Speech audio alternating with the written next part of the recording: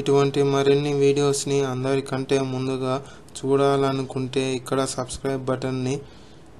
click చేయండి చేశాక ఇక్కడ ఒక బెల్ ఐకాన్ వస్తుంది దీన్ని కూడా ప్రెస్ చేయండి